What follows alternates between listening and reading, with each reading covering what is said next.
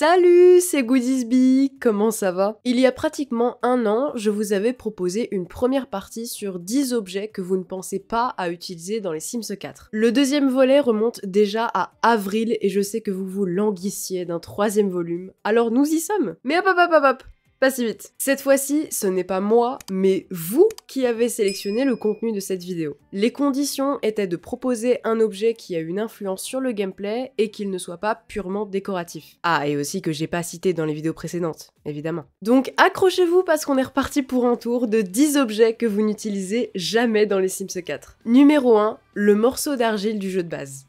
Ok, les Sims s'en servent tout le temps lorsqu'on a le malheur d'activer l'autonomie totale et c'est relou. Mais ça permet aux Sims qui l'utilisent d'être inspirés dans un temps record avec le moodlet sculpture slash modelage inspirant. L'argile a tellement de potentiel. Toutes ces possibilités sont inspirantes. Alors avec l'argile, fini les douches méditatives et autres potions pour vos aspirations qui nécessitent d'être inspirées. Numéro 2, le bar Globe de Montevista du XVIe siècle, du kit d'objets accessoires vintage. Si vous ne le saviez pas, ce petit globe tout mimi et surtout méga classe est en fait un bar caché. Mais mieux que ça, j'ai découvert il y a peu que les enfants peuvent interagir avec cet objet. Et non, pas pour ce que vous pensez, bande de fifous. En effet, si l'enfant étudie le globe, ça remonte sa compétence faculté mentale. Cette compétence était déjà bien relou à monter et nécessitait toujours un jeu d'échecs. Et ben maintenant, on peut laisser de côté les rois et les tours que faire le tour du monde, c'est quand même bien plus amusant quand on a 10 ans. Numéro 3, le tableau familial du pack de jeu Être parent. J'avoue que je place cet objet principalement pour décorer, mais il est vrai qu'on peut quand même faire pas mal de choses avec, comme déposer des petits mots ou des petits dessins et même sélectionner une heure de couvre-feu. Ça, c'est histoire de pouvoir punir davantage vos Sims.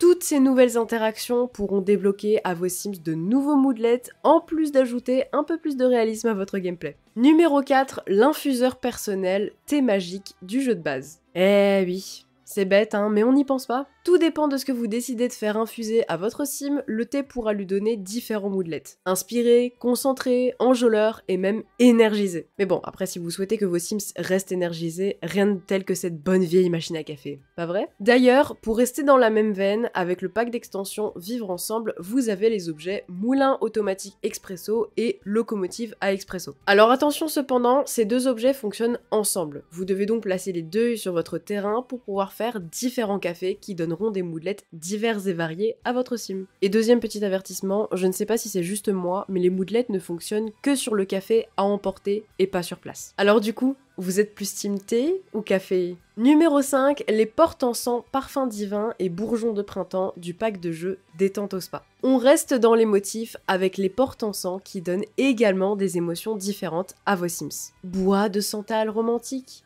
cannelle tonifiante ou même citron évocateur. Toutes ces senteurs vous coûteront la modique somme de 20 simflouz, mais au moins vous serez détendu. Numéro 6, la machine à fabriquer domestique, plus besoin de boutique, du pack d'extension écologie. Décidément, les noms sont beaucoup trop longs. J'ai à titre personnel très peu utilisé cette machine, mais j'adore le concept de fabrication. Entre des objets inédits et des motifs personnalisables, enfin, dans la limite du raisonnable, hein, on parle quand même des Sims 4, c'est le moment de refaire toute la déco de votre chez vous tout en faisant un petit geste pour l'environnement.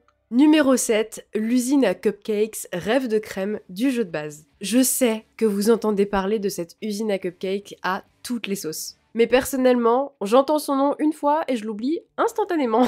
Donc là, c'est le moment, on va tous allumer notre jeu ensemble pour faire de délicieux cupcakes. Oh, et si vous avez le pack d'extension au travail, vous pourriez carrément améliorer votre compétence pâtisserie avec cette machine à cupcakes. En tout cas, je sais pas vous, mais moi ça m'a donné super faim.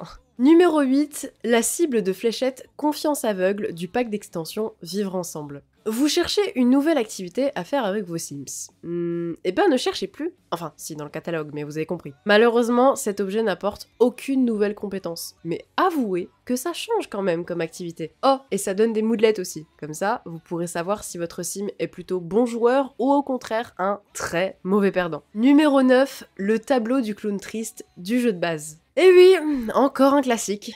Mais lorsque vous contemplez le tableau du clown triste, vous pourrez voir dans la rue se balader un petit clown... Bah triste, du coup. Il est juste triste. Y a rien de plus. Mais à force de contempler ce tableau pour le moins dérangeant, sérieusement, il me met tellement mal à l'aise. Le sim débloquera un nouveau moodlet de tristesse parce qu'apparemment, rien n'est plus triste que les histoires de clowns tristes. Numéro 10, la lanterne de cimetière, tour de passe-passe du kit d'objets accessoires effrayants. Ok, là j'avoue, c'est un petit bonus de ma part et en plus ça n'apporte rien gameplay, mais j'ai trouvé ça stylé. Déjà, attention à ne pas confondre la lanterne de cimetière tour de passe-passe avec les tombes illuminées du pack d'extension saison. Dans le catalogue, elles n'ont pratiquement aucune différence si ce n'est la couleur. Toutefois, lorsque vous placez les tombes du kit d'objets sur votre terrain, vous pouvez faire apparaître de la fumée de celle-ci pour une ambiance plus macabre. Attention cependant, ça ne marche pas avec les tombes du pack d'extension. Ah mais je vous l'ai dit, hein, ça changera rien à votre gameplay, mais avouez que là tout de suite, vous ne diriez pas non à une petite fête d'Halloween. J'espère que ce nouveau volume des objets oubliés vous a plu. Je tenais à vous remercier tout particulièrement car c'est grâce au premier volet de cette série que ma chaîne a pris autant d'ampleur en un an. Malheureusement, il va être de plus en plus difficile de continuer à vous partager des objets oubliés car je tiens vraiment à vous présenter des choses intéressantes dans votre gameplay et qui ne sont pas là juste pour dire eh, on est là pour décorer Mais toutefois, comme d'habitude, je suis ultra ouvert pour de nouvelles propositions, donc n'hésitez absolument pas à manifester vos objets oubliés en commentaire. Juste attention à ne pas citer ce que j'ai déjà présenté dans les précédentes vidéos. Bon, quant à moi, je vous donne rendez-vous très bientôt pour de nouvelles aventures, et sur ce, je vous souhaite de passer une excellente soirée. Des bisous